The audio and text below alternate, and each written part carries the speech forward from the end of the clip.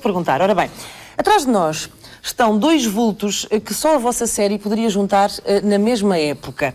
Ambos escritores, um com um olho a menos, outro com nomes a mais. Quem é que está atrás de nós? Luís de Camões, Bom. Muitos nomes, mu- muitos nomes. essa de Queiroz. Não. Tinha um bigode. Fernando Pessoa. Fernando Pessoa, nomes a mais, porquê? Tinha heterónimos. Ah, não, mas é que agora fui para o essa porque o essa também. Pronto, mas pronto, aí está. João Carvalho vai ser o nosso convidado. E agora, a, a próxima pessoa a chegar da maquilhagem. Andréia Diniz, ora viva, temos que dar um lugar à nossa querida Andreia. ora bem, Andréia, olá, boa noite, bem-vindo ao 5 para a meia-noite. Vamos à tua viagem no tempo. Uhum. Andreia, rezam as crónicas que a destruição chegou sobre três formas: Sim. o abalo, o tsunami e os incêndios. Em que cenário dantesco nos encontramos neste momento extremamente calmas?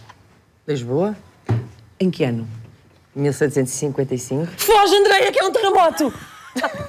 Bom, e agora finalmente temos António Capelo para descobrir ahm, em que cenário estamos eh, agora. Muito boa noite. Ahm, noite. Muito rapidamente, vamos viajar para um passado assim mais recente, António. Ah, estamos num lugar de culto da cidade de Lisboa, onde decorreram muitas reuniões importantes, fizeram-se lá reuniões. ahm, Negócios milionários, eh, comeram-se quilos de bifes, comeram-se outras coisas não tão boas. Ao fim de 30, alegres, 30 anos de alegres convívios, este espaço em Lisboa fechou recentemente, muito recentemente, as portas.